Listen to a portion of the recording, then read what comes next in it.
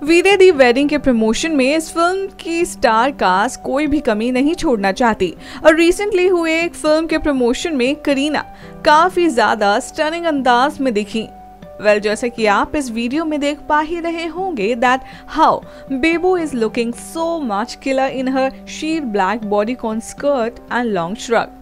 इसके अलावा, अगर करीना के मेकअप की बात करें तो smoky eye fake and nude shades on lip ने करीना को यहाँ दिया totally a very fiery hot look next nine life news room की रिपोर्ट